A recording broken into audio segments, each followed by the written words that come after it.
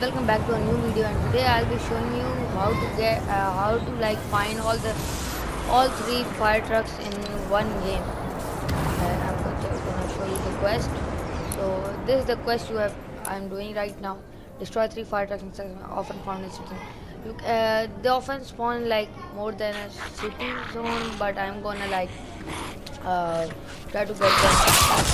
They, they spawn in every mission like. The easiest.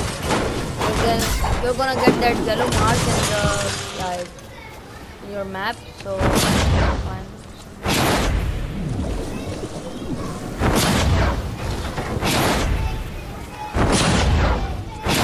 Okay, there's two. There's. This there's target's the, a tricky one. Second one. Keep searching. And there's the third one. So we find all of them in like one location. One more there and second, ah. the third one. So there you go. This is the easiest way to like find them. So thank you for watching the video guys. Make sure to like and subscribe and peace out.